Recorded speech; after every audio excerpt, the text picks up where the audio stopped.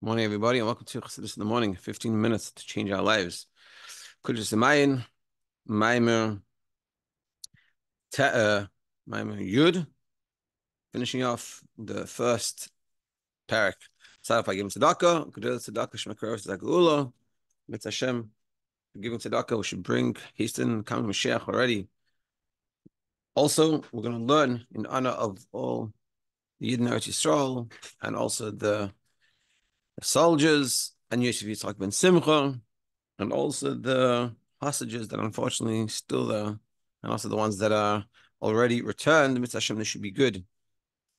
And they should be strong and healthy emotionally, physically, psychologically. And we're gonna we're gonna have in mind specifically for Ron Bat Maya. That Mitzvah Hashem, Ron Bat Maya should should be safe, healthy, and only good. Let me just Okay. We're going to finish off the parak today.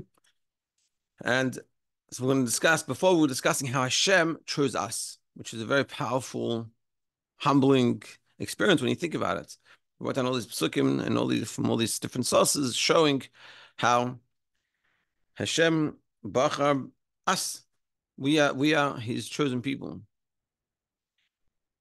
And it's yeah, imagine just imagine someone that you really admire and respect and you know they they invite you over, whatever, they come to speak to you, whatever it is, they make some type of relationship connection. It's very, it's very powerful, very humbling. But now we're going to show the other part of that, which is that we also do that. We also reciprocate that. And we're going to bring a very famous Masha from the Medrash, the very famous Mimer, the Rebbe bases it off. This idea. Let's see. Page 159. Okay, so too the neshamas of the Yidden, Bachru that we chose Hashem as well. Not just that it's a one-way relationship that Hashem is choosing us, but we're also choosing Him. Like it says in Eicha, Chelki Hashem, Chelki Havaya Amar. My Hashem, my my portion in Hashem, He says my soul. Meaning my soul says that Hashem is my portion.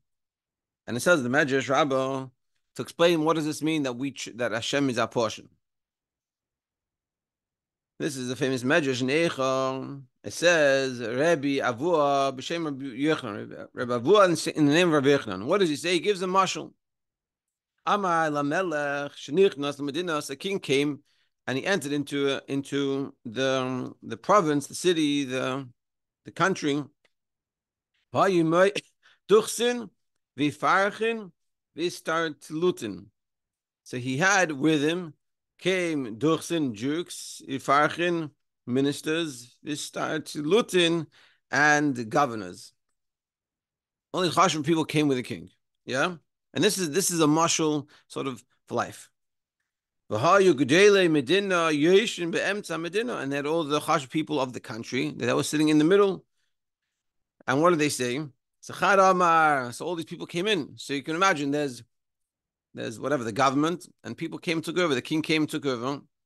Not in a, but it's not in like a.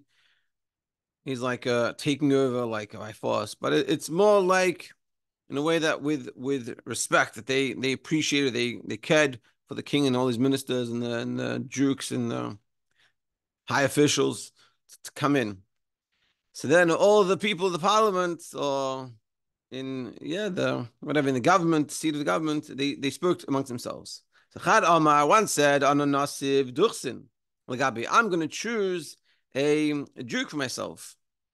And we're going to explain why why is he choosing a Duke for himself. Chad Amar Ananasiv Ifarchin Lagabi now said I'm going to choose the high officials for myself. Chad Amar Ananasiv Istar Tilutin the other one said I'm going to choose the governor. Well, if Ifarchin is is the is the governor and is, is yeah is the governor of Lutin is the high officials. So everyone said I'm basically I'm going to become buddy buddy with these people. So one guy said one guy said I'm going to be buddy buddy with the duke. One guy said I'm going to be buddy buddy with the high officials. One guy said I'm buddy buddy with the governor. So higher pikeach echad nisham amar ananasiv malka. But there was one chacham, one smart person that he said, I'm going to choose the king. I want to connect myself, become buddy buddy with the king. Why? And he explained because the chulu mischalfi no malka ein mischalif. So everyone can come and go, but the king doesn't come and go. The king's the king's in charge. And and this is and so now we explain the measures. So kach akum. So too, with with the person that does idol worship. Mehem oivdin lechama, mehen oivdin levana. Some of them serve the sun, some of them serve the moon. Mehen oivdin le'eit, some of the trees, evan and stone. Meaning, people, we have, we have things that we, we serve. Uh, I'll give a mashal soon. I'll explain this in more and more practical terms. Avo Yisrael, the Jewish people, Einon Evdin, Ella Lakadosh Baruch Hu, we serve Hashem. Hadahu Dechsiv, and this is what it said, this is what it means from the Pasuk. Chalki Havaya Amar Nafshi, the same Pasuk from the beginning. This is what it means. Hashem is my portion, says my soul. Meaning like this. Meaning, and this is something that we all struggle with. When when when we stress, Lamash, when we stress about Parnasa, we stress about anything in life, I mean, what's going to be, what's going to be, I need to do this, and I need to do that. When we when we do that, we're putting a trust in something else but the king. When I was, when when like uh, just a, a, simple example is when I was, when I was, I was before I started doing full time with Chassidus, having to fundraise. I was working, I was working shlichus, a different shlichus place, and and and so and so Michal was like, "Come, I need you to help full time with Liv Chassidus. Uh, Liv is needs more manpower, and but the problem, my concern was, what's going to be the parnasa? How am I going to make money? Like, how am I going to? I don't know a fundraiser. Well, at least I didn't think I was. Now I don't have a choice. but I was like, how am I going to do this? And then it's, it's it's scary. It's like, what's going to be? And you know, and that's why a lot of people don't go out of shlichus. They're just scared of, of the fundraising aspect. And ended up speaking to a shliach that that he was sort of in a similar situation that he had gone to work for a shliach, and then he went out to be on shliach by himself. And he, one of the things he told me, he said, he said, you need to speak to someone, a different person that helps helps with these types of discussions. But he said to me, he goes, he's going to tell you like this: you think that your parnasa is coming from your boss. Your boss is giving you a parnasa. Yeah, you go to a job, you have your boss, and they pay you. So you think they're they're the ministers, or they're the jukes, they're the high officials and you say, I'm going to connect to those people and I'm connect to my boss because my boss is going to is, me my paycheck. And I was worried if I leave, then I'm not going to have my paycheck from my boss. My paycheck is coming from the king. I'm scared of the king. I don't know if the king's going to pay me every time. And and and that's what he told me. And he goes, he goes, so basically, you think that your boss gives you the paycheck, but you got to re- recognize who really gives you the paycheck it's the Abishter. Hashem's in charge. And the king is really in charge. And this is sort of the mistake that everyone else makes. They jump to the ministers because the minister's the one, you know, the king doesn't sit there writing the checks. He doesn't sit there speaking to the people. He makes decrees and he does these things from behind the scenes, so to speak, or from very high up. And it trickles down to the people on the ground and all these lower level people. But the problem is we connect to the low level people because that's where we see we're coming from. I saw my paycheck coming from my boss. So he's the one I'm connecting with. I have to be good for him and I have to take care of him. And and Hashem is somewhere up there. And I realized when when when he explained that to me, I realized that I was I was lacking in my bitachon my imuna in Hashem. So I, that pushed me because my uh, Chassidish But but this is what we, this is what we're saying that that essentially we all have this. We all can we all have both of them.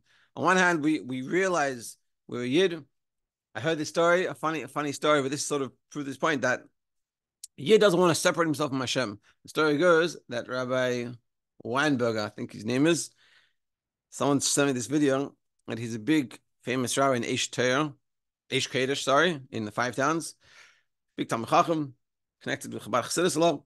So he said that when he was a kid, it was Krasvach time, and his his mother and his sister. They went shopping in one of the malls back in the day. People to go to malls, went shopping, and he was in the toy section.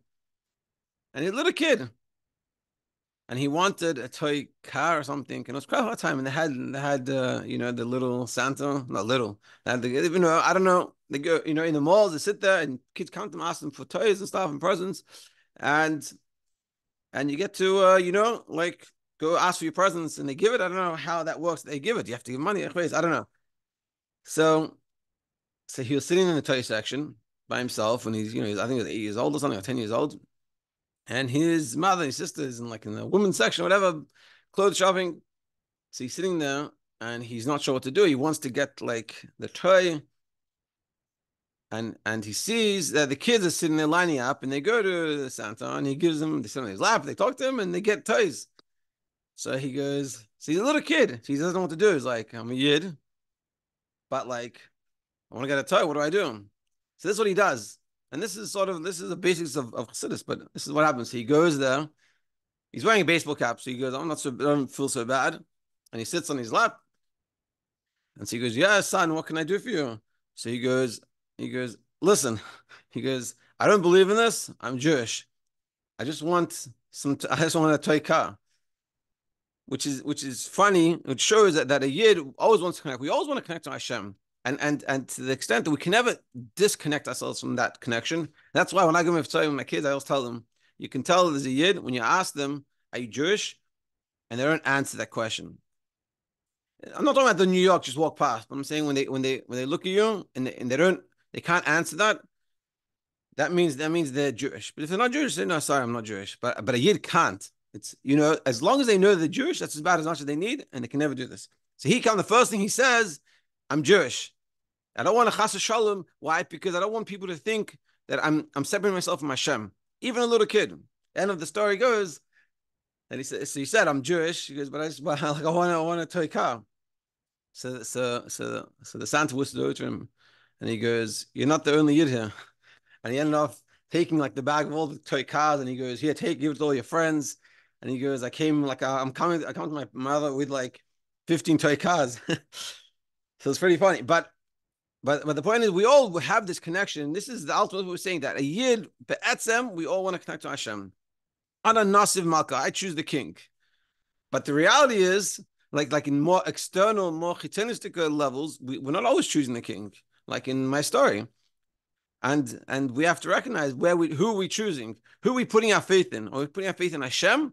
That's the point. Because What is the, what is the What's the wise one says? He goes, but all these people, all these other ministers and jukes and high officials, they can be today and gone tomorrow. But but Hashem is in charge. Hashem is the one that's always going to be there. The king is always there. And this is what I was saying. We choose Hashem. We recognize Hashem. And this kid at, at, at age eight years old also chooses Hashem. And we all we all essentially do this. Just we have to make sure to express this all the time and not uh, fall for Someone else is giving us a parnasa. That's really all Hashem. But that's really what's happening. The the duke and the minister is giving you whatever they're giving you, but all mishtash all comes down because of the king. The king's the the top, and and and don't get confused. Zeu, and this is what it means. Shatera nislalana, the Torah is given to us. The Torah comes from Hashem's wisdom the inyan hatera u mitzvahs hu mitzad hapnimis shesham hu hacheshbon v'amedida that the inyan of Torah and mitzvahs is in bepnimius, it's internalized. Like we've been showing here, there's, there's, a, there's a very deep internal relationship between us and Hashem. And so to the Torah is coming from this internal level. It, it's being brought down in Chachma.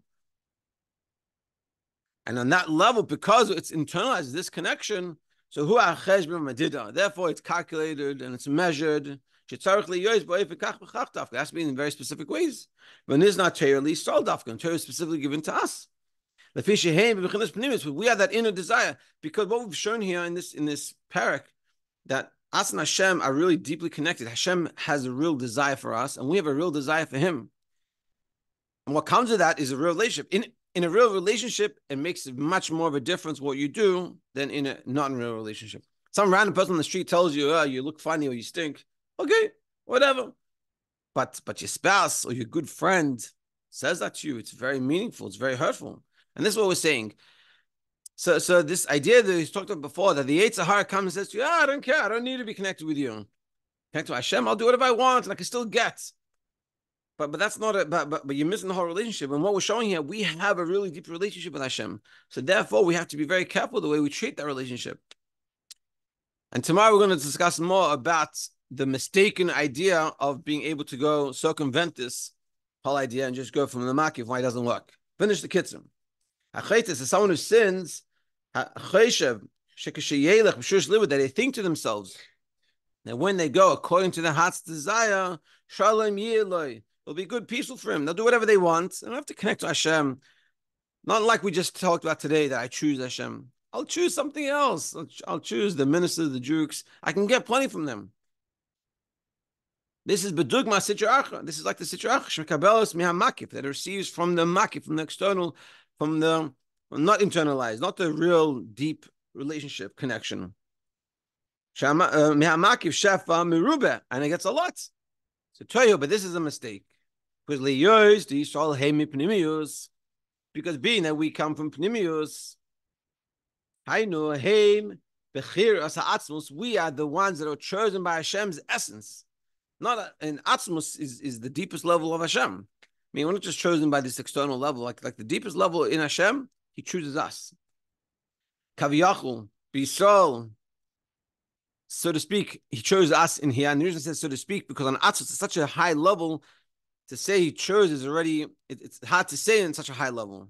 And in Hashem's, basically, but in simple English, saying in Hashem's truest essence, above and beyond anything, He's choosing us. But and we, we reciprocate that, that choice, and we also choose Hashem. And not just Hashem, the way He's going to give me my food, my parnasa, or have a good day, but the de- deepest levels of Hashem, like this kid that he has to say before anything, I'm a Yid. Baruch Hu, Batzus Baruch Hu, Mitar Pnimius, because this is the inner dimension of us. This is who we really are. This is our real connection with Hashem. And therefore, when we come to try to do it in a different way, that's not we're not being true to ourselves. And that's what we're going to discuss tomorrow more, how that doesn't work. But but but the, the important lesson we can take from this, we have to recognize that are we choosing Hashem or are we getting caught up by something else that's not Hashem? Are we are we are we, are we serving other gods? Do we think do we think our boss is the one that gives us parnasa? Or do we think what like whatever we keep that example. We think our boss is one who gives us parnasa, or do you think it's Hashem giving us parnasa? Think about it and have an amazing day.